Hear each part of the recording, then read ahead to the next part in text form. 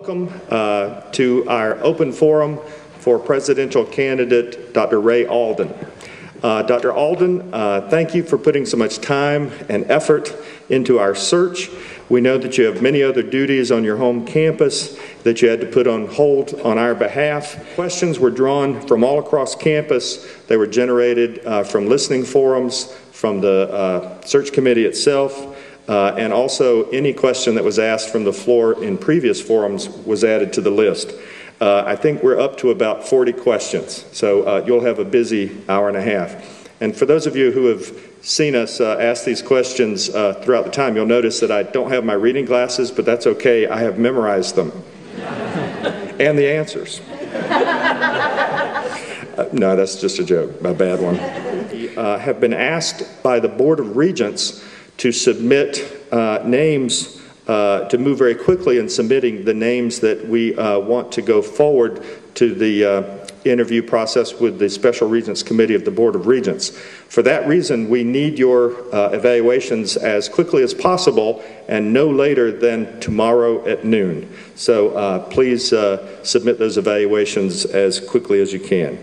Now, Peggy will come up and introduce Dr. Alden. Coming once again, we really appreciate your attendance.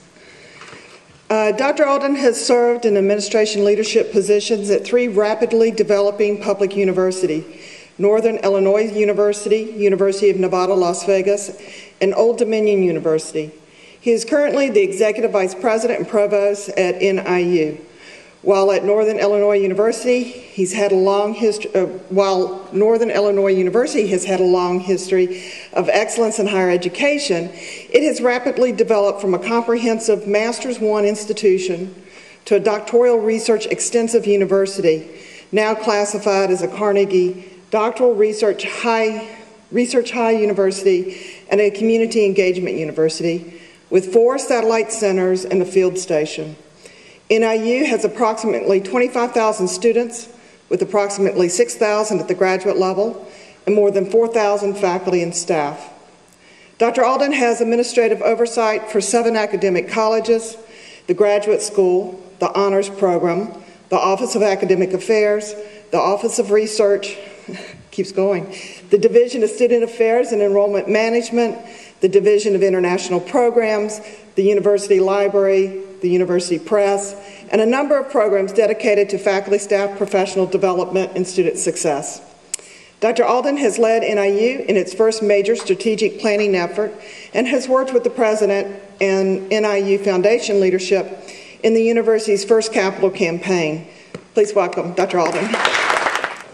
Thank you. I would like to, before I get started, thank the uh, search committee for giving me the opportunity to explore this uh, particular uh, exciting opportunity with you, and for thanking all of you for coming. I think uh, I, I, realize I'm the last candidate among six, and I know this is a very busy time of the semester, so I appreciate your interest in this important process. So thank you all.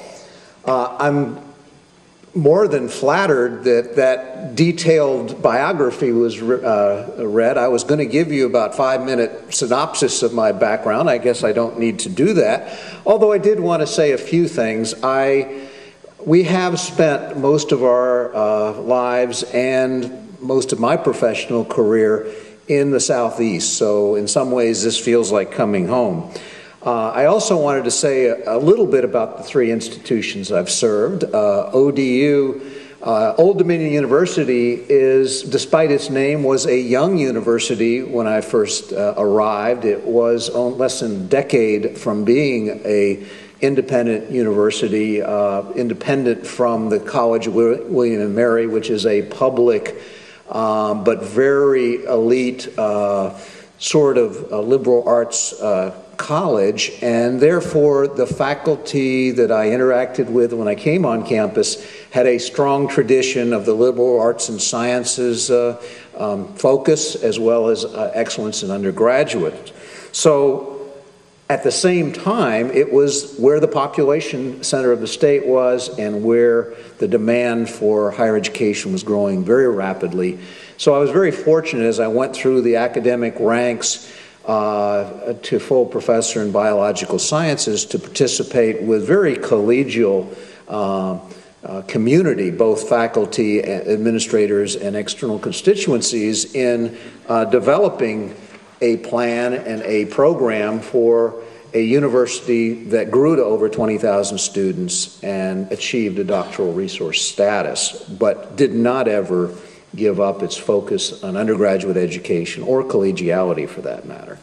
When I came to University of Nevada, Las Vegas, um, I likewise found an institution that was a relatively new institution, a, a young institution. It had only been uh, uh, an independent uh, uh university, public university from uh, University of Nevada, Reno, for a relatively short period of time, and it was quite frankly recovering from what we referred to as the basketball wars, the Jerry Tarkanian scandal, and the fact that that split the community both internal to the university and external. So I was part of a team of administrators that came in shortly thereafter to try and rebuild the academic focus of the institution, which, quite frankly, had always been on undergraduate education and a very collegial group as well.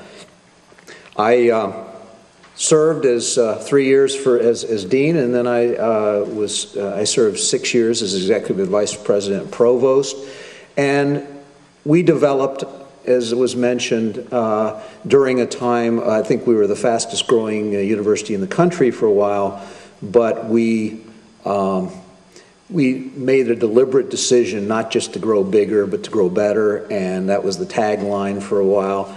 And I think I saw this commitment to undergraduate education, to involving students in the research agenda of, of the faculty that we hired, and we hired a large number of them, but they knew they were going to be teaching uh, undergraduate students from day one, uh, and that they were going to be expected to engage those students in all of their professional activities. From UNLV, I went to Northern Illinois, which had a history much like yours. In the late 1800s, it was founded as a normal school, and much of the last century, it had a very good reputation, an excellent reputation for undergraduate ed, uh, education.